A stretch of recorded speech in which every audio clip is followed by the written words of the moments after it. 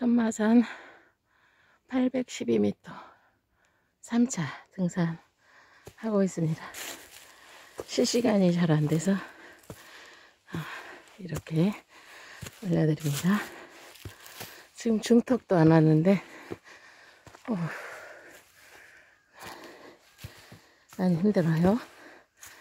아. 사이사이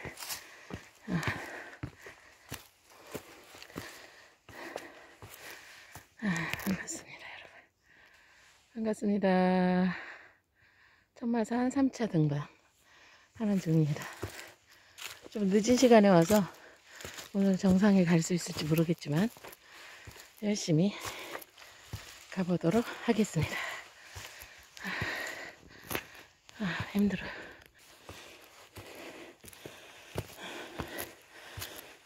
정상에 가서 한 번 더 찍어서 올리도록 하겠습니다. 여러분 행복한 월요일이에요. 좋은 시간들 되시고